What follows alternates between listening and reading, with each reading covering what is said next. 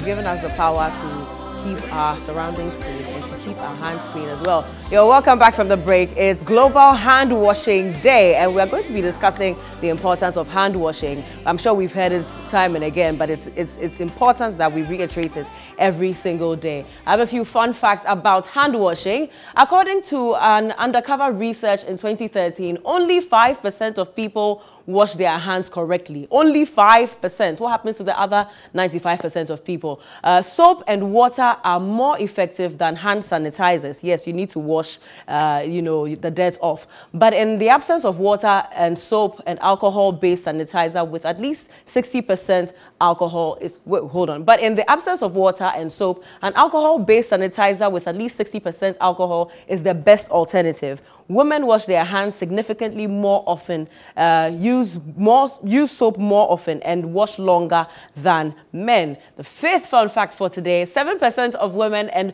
15% of men do not wash their hands at all after using the restroom. Hmm, change your life if this is you. If everyone routinely washes their hands, a million deaths could be prevented. There can be more than a thousand resident bacteria per centimeter square on your hands. Hmm. Now, the eighth one, damp hands spread thousand times more bacteria than dry hands. Hmm. That's scary.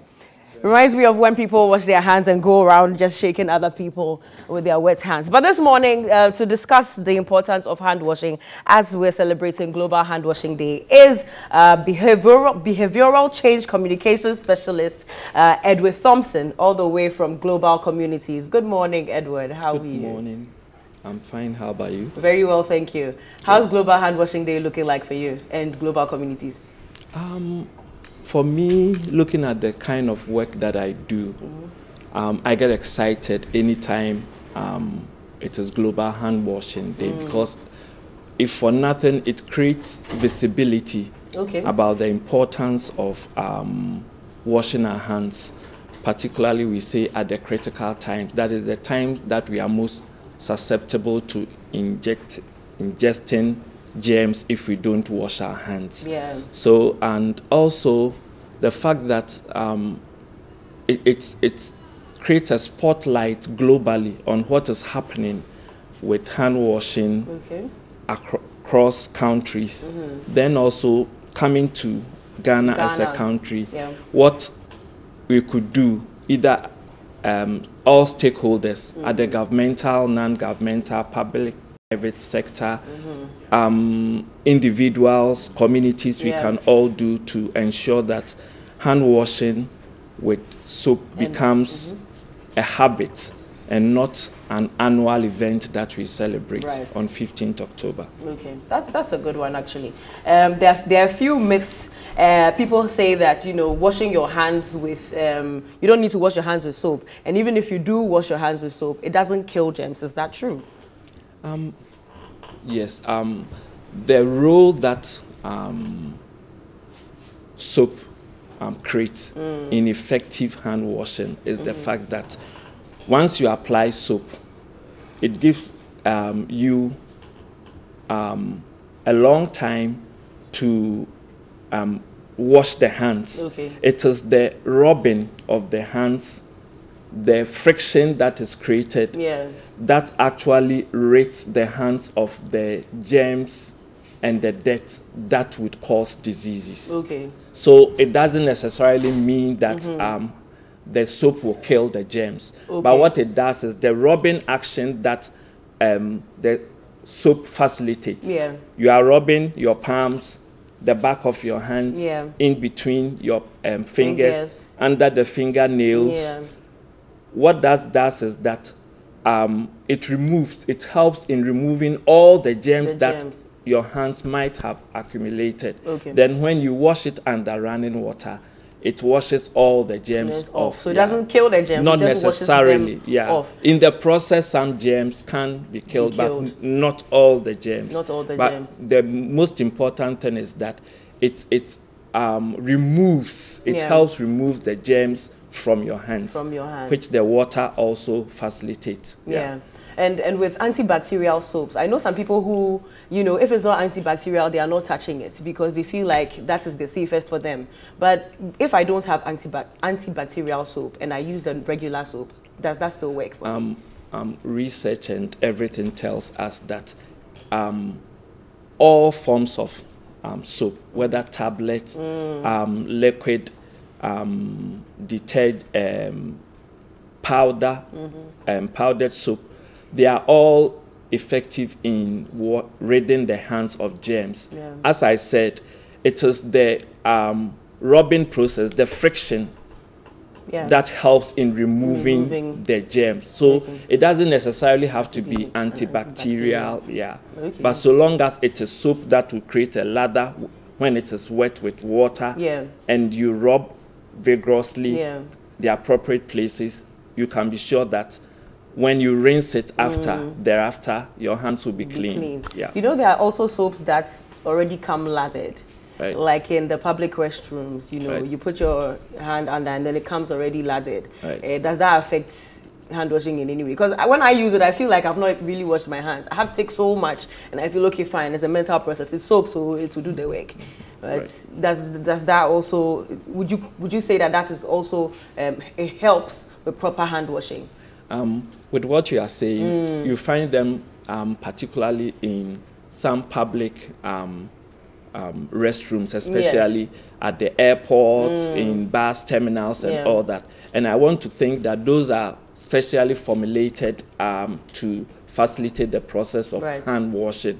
But as you said, um, it depends on maybe the amount that you take. Mm. If you think that your hands are really dirty and you need to really rub hard to get the germs off, yeah. take as much of it as you want. And mm. I think mm. so long as you have soap and you rub your hands well, you'll be good in reading it of the gems. I'd like I'd like you to speak to those out there who wash their hands for just about um, five seconds because um, hand washing is supposed to be a ritual thing. You wash your hands before you eat, and so they just go put their hands under the water and then you uh, and then they are done. And that's like within five seconds, you know, and then they are done. I want you to speak to them. Um, generally, we say that any time between eight to twenty seconds will be a good time mm. to wash your hands if you follow the proper procedure. Yeah. And it must all, for hand washing to be effective, it must always be with soap and water, water. clean water. I should emphasize that. Yeah. It must be always with soap and clean, clean water. water. So if you go through the proper hand washing steps mm-hmm. or the procedure, yeah. like first you have to yes, wet take, your take us through, yeah. You you, you wet your mm-hmm. hands, then you apply the soap. The soap. Then you rub the palm, the back of the hands, in between, in between. the fingers, under the fingernails, um, all the places where it is possible that yeah. germs could have um, maybe collected. Mm-hmm. Because as humans, there is nothing that we do that doesn't involve our hands. Mm-hmm. Our daily chores from yeah. the time we wake up in the morning yeah. till we go to bed our hands are involved in everything that we do. Yeah. And in that process, it collects a lot of germs and mm. other um, forms of bacteria, bacteria. or contaminants. Yeah. And the only way we can be sure that we are not ingesting these germs yeah. that could cause disease or um, spread infections mm-hmm. is to ensure that we do proper hand washing, hand washing, which will necessarily involve soap with clean running water. Awesome, awesome. I like that. Um, studies have also shown that uh, our phones also hold a lot of bacteria you know, and there are some people who would, you know, wake up in the morning when they are going to eat, they are holding their phones. As they are eating, they are holding their phones and all of that. So I'm hoping that they will take take some um, some notes from you this morning. Now, Global Communities is into um, ensuring that um, water um, or good um, hand washing practices are spread across Ghana, right? It's it's um, part of the work we do. Okay. Um, just Global Communities mm -hmm. is an mm-hmm. international NGO. Okay. It was actually formed um, as far back as 1952, and at that time in the U.S., the name was Cooperative Housing Foundation International. Okay. Here in Ghana, Global Community started operating in 2007. Mm. And then um, at that time, it was still the Cooperative Housing Foundation International yeah. till the name changed to Global Communities. Okay. From um, helping improve um, urban slums, Global Communities, the, the, the bulk of the work we do now has to do with increasing sustainable access to water and sanitation, then Okay. also improving um, um, key hygiene um, practices, which will include the hand washing with soap. Yes. So how, how feasible is that? Um, you know, ensuring that they, they have the um, access to the water, um, proper hy- um, hand washing practices and so on. So looking at the fact that in a lot of areas, even in uh, Accra or other urban areas, uh, they, we don't have running water. So how does that work out for you? How, how does that affect your, your operations?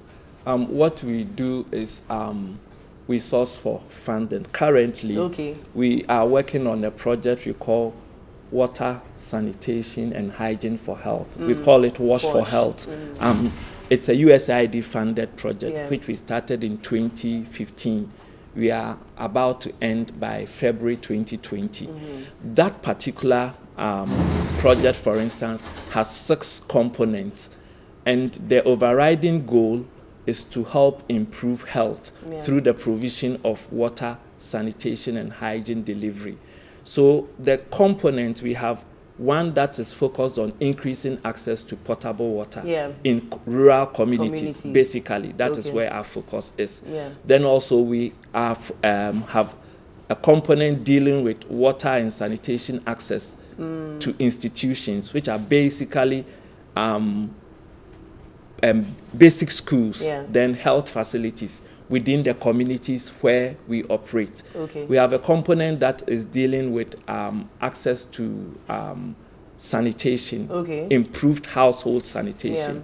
And as I said, institutional ones as, as well. Yeah. Then we have a component that deals with policies and building capacity, Capacity. within the wash sector. Yeah. Then um, we have the um, component that has to deal with expanding um, key hygiene practices. Practices. where the hand washing Comes would in. come But in. has it been difficult um, implementing this, Um, getting people yeah. to wash their hands, even though in certain areas they don't have water? Right, right. Um, there are a lot of challenges Mm. which we are trying to help improve to make hand washing a habit. Okay. Some of the challenges has to do with availability of the water. Yes, Like we exactly. Mm-hmm. said, for you to be able to properly wash your hands, you need water Mm. Yeah. to rinse off the germs. Exactly. Um, soap, from research and all, we have come to realize that soap is not a big issue. Okay. Because wherever you go in Ghana, even in remotest of households, Yeah. you find soap. Exactly. The issue has been with water. Okay. That is why one of the things we do is to increase access to um, good um, drinking water, and for other household purposes, Purposes such as well. washing, bathing, and washing um, Of the, hands. Okay. Yeah. So can we get a word of advice to Ghanaians and others out there who are watching? Um, special advice for hand washing day, how they should wash their hands or why they should wash their hands. Uh, why is it so important to, to them? um, I must say that um, hand washing um, is one of the easiest, simple, and most cost effective or affordable ways that we can prevent the spread of infections and especially prevent diseases. Um, it doesn't take um, much. Soap, you Yeah. can find soap, and as I said, it is not particular soap. Yeah. It could be liquid soap, powdered soap, Or bar soap. bathing soap, any Yeah. kind of soap. So long as you apply water and the friction and you wash under clean water, Yeah. you can be sure that your hands will be free from germs. Okay. But what we must I must add is that it is important that we do this at the critical time. Okay. The time that we are most susceptible to ingesting germs if we don't wash the hands. Okay. And these are before um, we come into contact with food. Okay. So whether you are the one preparing the food, serving it, feeding mm-hmm. it to a child, mm-hmm. an invalid or an adult, Yeah. make sure that your hands are washed properly. Mm-hmm. Then after contact with um, feces, when we finish using the latrine, Exactly. whether for defecating, urination, or maybe for menstrual hygiene purposes, mm. we have to be sure that our hands are washed with soap under running water. water under when running we are able to do these, mm-hmm. then we will significantly reduce um, the, the um, spread of um, infections okay. and also prevent ourselves from getting ill or falling sick. Falling sick. Yeah. Okay. And um, what I must say is that it is time for every one of us to get on board. Yeah. That is why this year the theme for the celebration is Clean Hands for All. Mm-hmm. What it means is that all stakeholders, right. from the government, mm-hmm. policymakers, decision makers, um, educational educationists, yeah. those in the schools, mm-hmm. teachers, health facilities, um, especially the media. Mm. We have a role to play. You have the role to play in creating the visibility. Yes. One of the challenges, um, maybe I want to use this platform okay. to, to expose is the fact that um, behavior change is a difficult thing yeah. because it takes a long time yeah, to exactly. change behavior. Habits once formed are hard, hard to, to um, break. To break. Yeah. So um, and for it to be effective, it must be systematic and planned. And planned. We have done research and produced materials to aid um, the um, hand washing promotion okay. and um, its adoption, uh, making it a habit instead of um, once in um, a year yeah. Um, event.